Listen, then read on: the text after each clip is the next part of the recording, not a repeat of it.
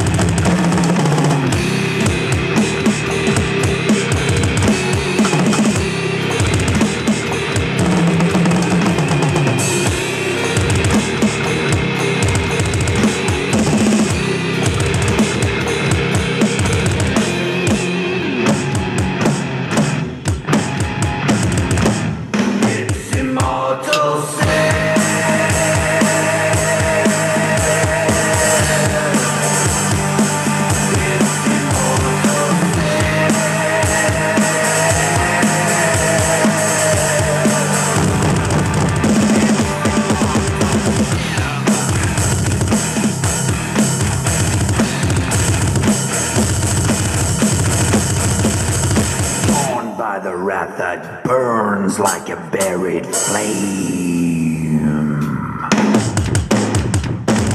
It's immortal.